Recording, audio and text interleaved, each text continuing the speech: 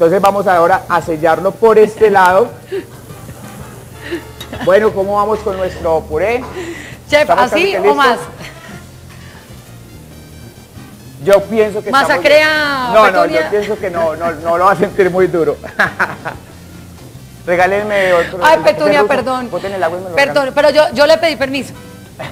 ¿En serio? Yo le pedí permiso. No, que está bien. Hay que, eso está muy bien, pedirle permiso está muy bien. Muy bien. Pedirle permiso está muy bien. Ay, Petunia quedó como medio disgustada. Bajamos el fuego. Miren lo que vamos a hacer. Ya está sellada por ambos lados. En ese momento ingresamos la marinada, Sí. que es la que va a hacer, va a formar parte de la salsa. Bajamos el fuego. Aquí en este momento le dejamos a las bondades del fuego bajo. No queremos perder todo ese sabor. Regálenme por favor un sartén, muchachos. Vamos rápidamente. Aquí tengo, en este momento está mi puré, está totalmente la papa. Miren, eso es lo que quiero que vean. Miren que está totalmente, pasa fácilmente, pero no está chicluda. Eso es lo que ustedes tienen que buscar en un puré, que no les, el almidón no haga lo suyo, entre más cocción, entonces nos va a quedar apelmazado, nos va a quedar como un chicle y eso es lo, realmente lo que no Ah, queremos. sí, ese es uno de los problemas que se nos presenta también cuando estamos eh, preparando Es ¿no? correcto, es- ese es un, eso es un Y que queda como también cristalino. Sí, ese- y además Sí. no excedemos de cocción. Además recuerden que estos tipos de puré pues son, son muy digestivos, son agradables. Eh, personas que tengan problemas estomacales, de pronto que sufran de algún tipo de, de afecciones, pueden utilizar. Hay incluso recetas que simplemente carne molida y puré. Cuando tenemos problemas después de una gastroenteritis, Ay, sí. lo más recomendable, carne molida y puré, totalmente digestivo. Nos mantenemos y no tenemos ningún Muy bien. inconveniente. Bueno, entonces vamos ahora, vamos a utilizar acá, estamos calentando un recipiente, Sí. vamos a utilizar una cantidad mínima.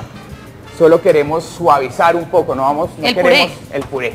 No queremos mucha grasa dentro de nuestra Y preparación. si no la queremos eh, poner, por ejemplo, mantequilla, sino mayonesa, ¿puede ser? Bueno, eso depende de la intención que queramos de que tengamos con nuestro puré. Hoy quiero algo muy, incluso casi que rústico, no voy a utilizar, por lo general suavizamos con leche, con crema de leche y solo mantequilla. Entonces, eso es, depende de lo, de lo que tú quieras, de lo que tú quieras lograr. ¿Por qué no voy a utilizar mayonesa? ¿Por qué no voy a utilizar crema de leche? Porque voy a utilizar crema de leche allí en mi preparación. Va a suavizar el cerdo, entonces no, no quiero más crema de leche. Con lo que tengo acá es eh, más que suficiente. Entonces venimos acá, Sí. Simplemente vamos a suavizarlo como hemos hablado acá.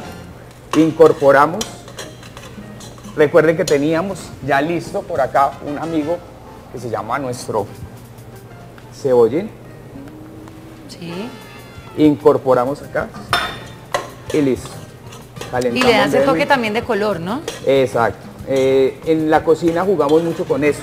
Con las texturas. a, a- a nuestra cámara para. Claro que sí, miren Qué esta bien. parte, yo quiero tomar una parte acá para que, eh, es correcto, para que miremos esto, qué bonito se ve, qué bonito, qué bueno, qué delicioso. y entonces, seguimos acá, ya lo tenemos listo. Vamos a dejarlo aquí para que se conserve caliente. Vamos a terminar nuestra preparación. Ya y rellenar acá. los tomates.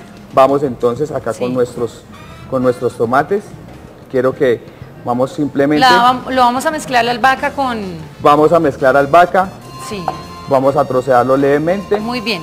Mientras que contestamos el teléfono de nuestra cocina, eh, que muy temprano ya llaman y solicitan al chef Danilo Bernal, nos vamos a recordar los ingredientes de la receta de hoy. Lomo de cerdo con pimienta y cola. 600 gramos de lomo de cerdo marinado. Mostaza. Una taza de gaseosa cola. Cuatro tomates chontos grandes. Un pocillo de arveja cocida. Un pocillo de maíz tierno. Medio pocillo de crema de leche. Albahaca. Aceite de olivas. Papa pastusa cocida. 50 gramos de margarina, medio gramo de cebollín finamente picado, sal y pimienta al gusto.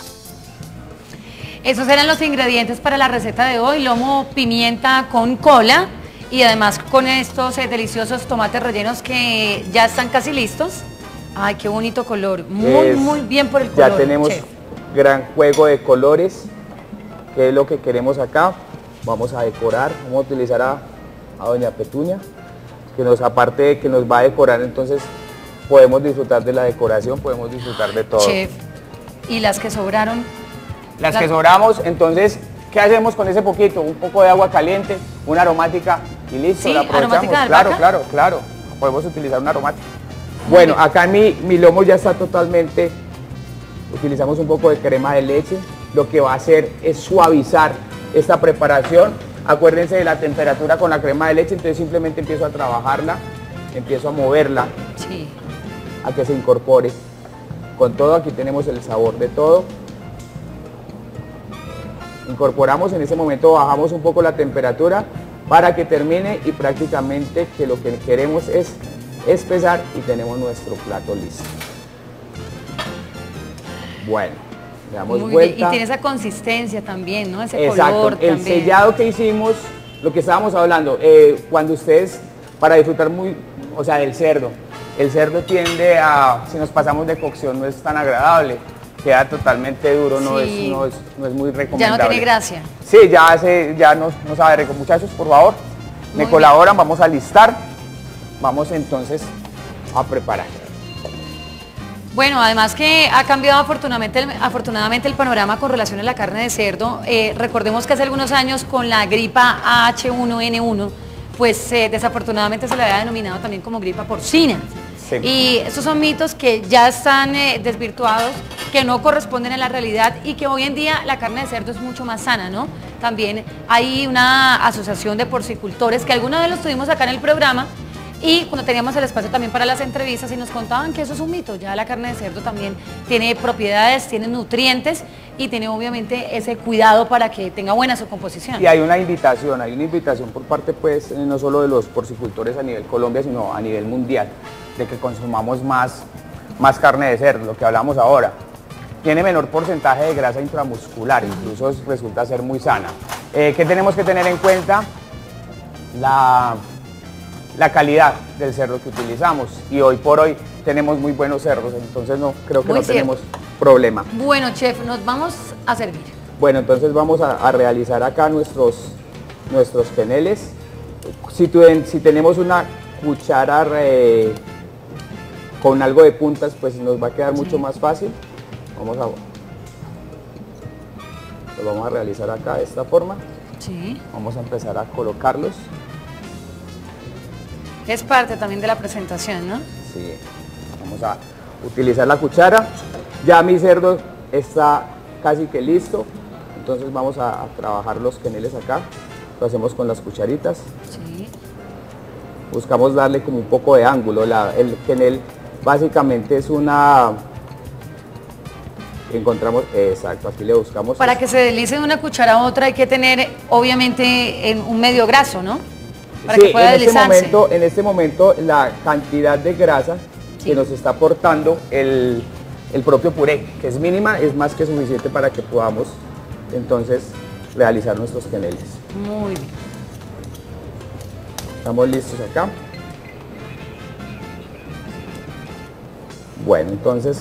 venimos. Queneles, ¿no? Se le denomina Eh, a sí, esta por eso forma de la- es, es una forma de presentar la papa. Entonces lo realizamos con las puntas de la cuchara. Como les digo, si ustedes tienen una cuchara que tenga puntas, pues es mucho más fácil. Buscamos altura, buscamos los ángulos del quenel, que realmente es lo que hace. Son como, como ovoides, como barrilecitos como de tres, de tres, digámoslo, de tres caras. Muy bien. Bueno, entonces vamos acá con nuestra... eh, vamos a servir. Muy bien, ahí está nuestro lomo pimienta con cola. Es correcto, vamos acá. Vamos a dejar un espacio, ya les digo para qué, para jugar con los colores. Y en este momento, acá tenemos, eh, vamos a colocar... Están preguntando internamente que cuánto vale esta preparación, cuánto, a, a- a cómo el plato. Bueno, ¿a cómo se los vendemos hoy? 15 mil pesos. Normalmente eso depende del gramaje. Miren, el precio de las preparaciones de lo que nosotros estamos elaborando. Depende de qué? Depende del sitio, Sí. depende de la trayectoria del sitio también, porque pues eso también es muy válido. Si es eh, un sitio con reconocimiento, entonces eh, también eso cuesta. En este momento, miremos acá, la salsa está un poco líquida. Sí. ¿Qué incorporamos acá? Simplemente lo que hicimos fue incorporar un poco de maicena disuelta en agua. ¿Para Muy qué? bien. Para ganar cuerpo en nuestra salsa, para espesar Muy ligeramente. Miren aquí cómo empieza a espesar. No queremos que las salsas, acuérdense que las salsas acompañan, entonces no queremos tampoco que unas salsas totalmente densas, Sí. tampoco queremos que sean líquidas, Líquidas. como el agua, sino que se deslicen. Acá ya calentó Muy mi bien. salsa. Preguntábamos el precio porque, porque entonces internamente nos decían cuánto vale y con un huevito encima cuánto vale. Definitivamente Jenny nos va a tocar hacer una preparación con huevo.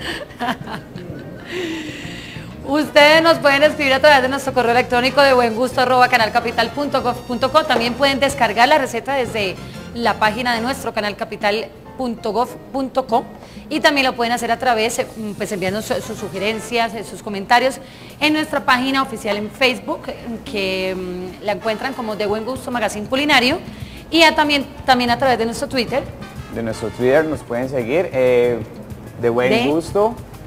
buen Gusto. Ahí está en pantalla para que ustedes se conecten, con- conecten con nosotros y nos cuenten qué está pasando con estas preparaciones y qué está pasando en sus cocinas. También un saludo inmenso a nuestra página también y bueno, a la página que han creado nuestros eh, televidentes, el Club de Fans del programa de Buen Gusto. Un saludo inmenso también para todos ustedes y para todos los que nos acompañan en las mañanas. Nos vamos. Bueno, los dejamos con esta preparación, los dejamos con, la, con el sabor, con las texturas, encuentren muchos sabores, muchos aromas, jugosidad. Pueden mezclar o pueden empezar con la carne, que en él un poco del tomate para que lo disfruten intensamente. Voy a hacerme una aromática con las hojas de petunia no porque de petunia se enoja. Los dejamos con esta maravillosa imagen y nos encontramos mañana muy en punto, a las 9 de la mañana.